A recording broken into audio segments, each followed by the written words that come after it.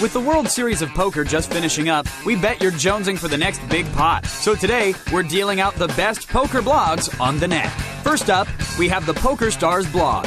The online poker site has branched out with its own web TV channel, video blogs, and interviews with players such as 22 year old Peter Eastgate, who recently became the youngest person to win the World Series of Poker main event. It was a pretty smooth victory. This site also features more recent events from the European and Asian Pacific Poker Tours, as well as some of the best played hands on the circuit, such as when TJ Cloutier and his pair of aces went up against Nick Slade and his pair of ladies. And by ladies, I mean queens.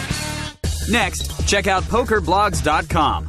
This site covers the online high stakes action from the poker pros. You'll find info on recent tournaments and the latest poker industry news, such as when PokerNews.com host Tiffany Michelle sparked controversy when she entered this year's World Series of Poker. Poker News owner and pro player Tony G paid for part of her $10,000 entrance fee, only to have her show up to the tournament decked out in ultimate bet gear and biting the hand that fed her. I've known that I can do well, and I know my play's on par with these people.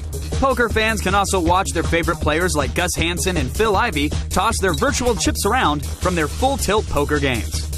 And finally, there's PokerBlog.com, a who's who site for the poker world featuring the top players in the industry such as Daniel Negreanu. At the age of 32, he's won three World Series of Poker bracelets and raked in over 7 million in tournament winnings. But let's not forget the lovely ladies of poker, like Canadian player Evelyn Ng, actress turned poker pro Jennifer Tilly, and the princess of poker, Brandy Williams, a co host on the Ultimate Poker Challenge who likes to hit the tables from time to time.